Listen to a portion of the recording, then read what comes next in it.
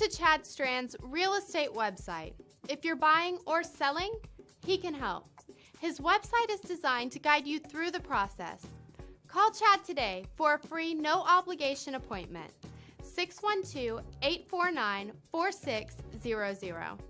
This is going to be a really difficult 10 months to wait as we anticipate the iPhone 8. Yeah, guys, we're already going to be talking about the iPhone 8. So we've got 10 months to go. The iPhone 7 just came and went, and the reason the iPhone 8 is going to be such a massive upgrade is because for the first time in three years, we're gonna see a new design. We're gonna see some crazy tech that we've never seen on an iPhone before. And I'm not saying we haven't seen this tech before. Apple's gonna be heavily borrowing from Galaxies for many Android phones. And I gotta say, you know, no shame. Apple, do what you gotta do as long as it makes the iPhone better. So, the iPhone 8, for the first time in three years, is going to get a new design, a new display, new tech. It's it's going to be a little piece of the future. And in this video, I want to share everything we know about the iPhone 8 right now. And the fact is, we know a lot. I'm actually surprised about how much there is going around right now about the iPhone 8. One thing I wanted to touch on before we get into this video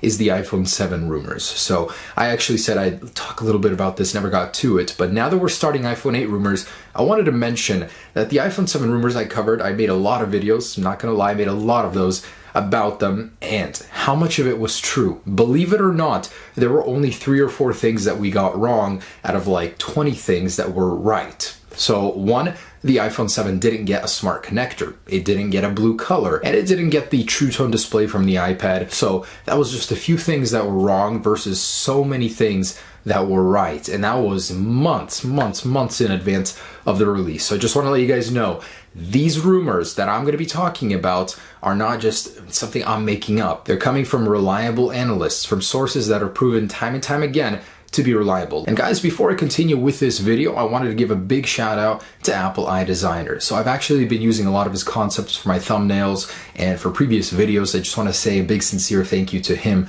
He's probably the most talented concept artist for the future iPhone releases. And I'll leave a link to his Instagram bio and his information down below. Go check him out, go follow him. All of his renders actually prove to be really, really close to the real deal. So let's begin with the iPhone 8. What will it be called? Well, there's a little dilemma here. It's the 10th anniversary iPhone. So that means Apple could actually do something different with the naming scheme as it is a very, very big event for them. Huge redesign, 10 years. Not the 10th iPhone, it will be the 11th in succession, but it will be 10 years since the original one in 2007, and I think that's quite an achievement for Apple. They might want to change up the naming scheme, but it's safe to assume it could be called the iPhone 8. I'll tell you what it won't be called though, the 7S, because the 7S would signify an S upgrade, which next year's iPhone will not be. It will be a full redesign. So how many models will there be? There will be three iPhone 8 models, the iPhone 8, the iPhone 8 Plus, and an unnamed exclusive flagship, the iPhone 8 with the organic LED display, with the new design, and it's just going to be completely different from the standard lineup. Now, Wall Street Journal and Bloomberg both report that this is going to happen. There will be an exclusive flagship that will be separate from the 8 and 8 Plus. So we all want to know, of course, about that flagship. What will it look like? Well, in Jony Ive's very own words, it will look like a flat pane of glass. It will be the sleekest, cleanest looking design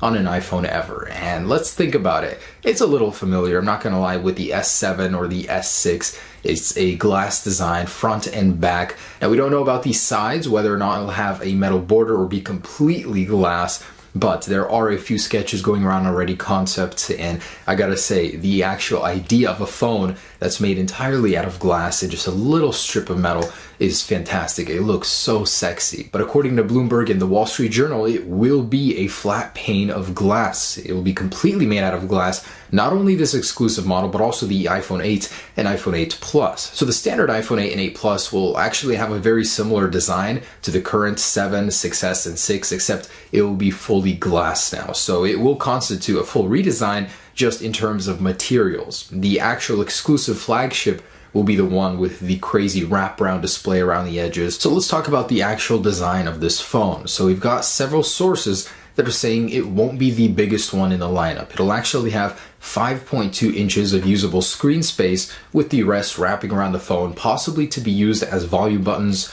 or some sort of extra information space. Now, of course, it's going to have that organic LED display. It replaces LCD. It's a superior technology. You can actually curve the display as it is bendable. It has superior contrast ratio, superior black colors. It's more efficient. You can make phones thinner as it doesn't require a backlight. There are so many benefits to an organic LED panel, so it's about time Apple puts one in the iPhone. And this is the thing I'm most excited about because an organic LED display is awesome. Apple's gonna make it even better. They're gonna only have the finest display in their phone. I mean, if you take a look at their current lineup, LCDs, they have the best, most accurate color of an LCD ever made. Literally, they've reached the roof of how good an LCD can get. Now it's time to incorporate a new technology, organic LED. Now this is a very interesting detail because this one thing is going to make the difference between a smartphone and something that looks completely from the future.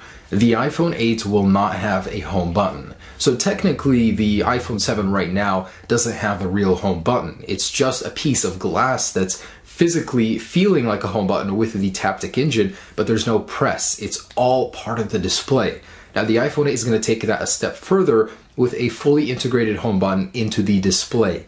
Apple has multiple patents for this that would allow them to use Touch ID anywhere on the display. Now that means you can click home from many areas on the display. It'll probably still be towards the bottom of the phone, but there will be no cutout for a home button, no sort of physical presence of that home button. It will all be via software or some sort of solution like that. So it's going to be an incredibly clean front look on the phone, and the actual camera itself, the front facing camera, will be built, manufactured, and integrated into that display. Now, why? Why would Apple separate the lineup like that? And why would Apple add an all glass design? So the lineup issue, not everybody wants an organic LED phone. Not everybody wants to spend those exorbitant prices for a phone. You can bet your butt it's going to be around a thousand dollars. Okay, I'm going to say it. You can bet your ass it's going to be around a thousand dollars. It's going to be expensive. So not everybody's going to want to buy a phone that's worth that much. And why the glass casing? There's actually a couple reasons for this. Very good ones, in fact. So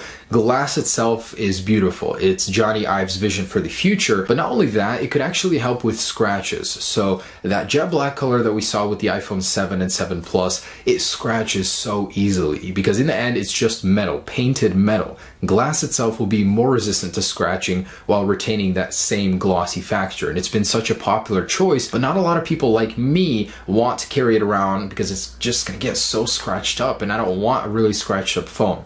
Two, the glass casing allows for easier transmission of energy. That means wireless charging. The iPhone 8 is rumored to come with wireless charging finally. So not only is it going to get wireless charging like the Galaxies, it'll get wireless charging from a distance. Now this is a big maybe. This one is a big maybe. Wireless charging, yes, but there are a couple problems to overcome with transmitting energy through a long distance in a room, you know, just loss of energy. And Apple needs to overcome this issue somehow.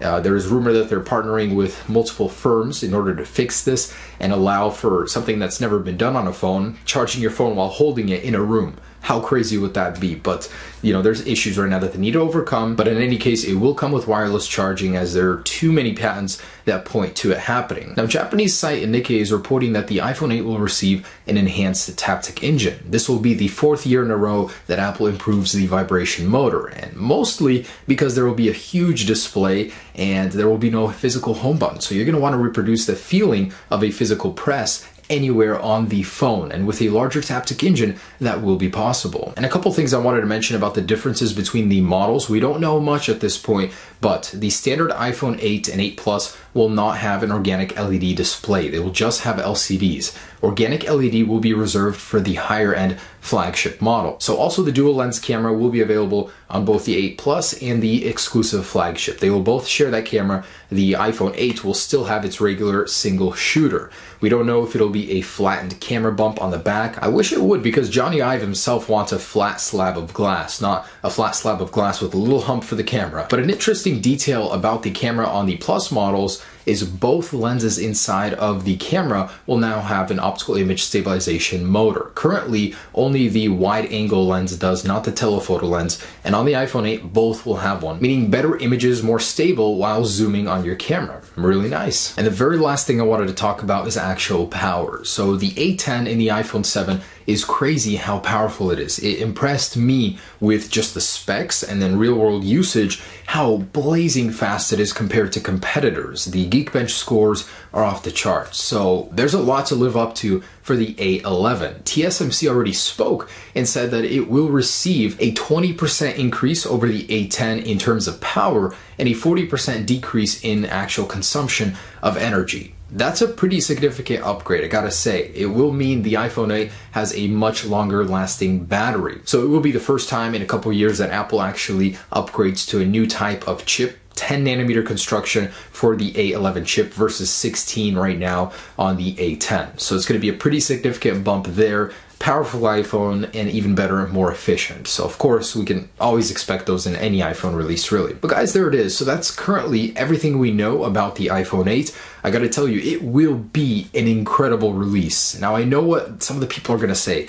Yeah, it's just a Galaxy. It's getting all the tech Galaxy has, but Apple has a way of adding their own little touch to it, their own twist, and it's gonna be in the end a very, very nice tech. I know it took years, a decade to get here to an organic LED display when, you know, most Galaxy and Android phones started there. Well, some did, but regardless, you know, it will be a great release and I'm super excited for it. So I really think the iPhone 8 will be incredible. For the first time in years, a lot of people will finally be impressed with something Apple releases instead of just hating on it and always finding something wrong with it. Of course, it won't be cheap as components prices go up. The fact that Apple might have to develop their phones in America could influence that. So expect to spend a lot. Start saving now, and you have Trump to thank for that. But anyways, guys, I just want to say thank you for uh, watching this video. I will be updating these kind of videos a little bit later on as we start to develop more rumors, uh, more reliable patents, stuff like that, you know, just everywhere where I get my information from. And uh, I will be sharing it with you. Okay, have a great day. Stay tuned for any iPhone 8 updates. Peace.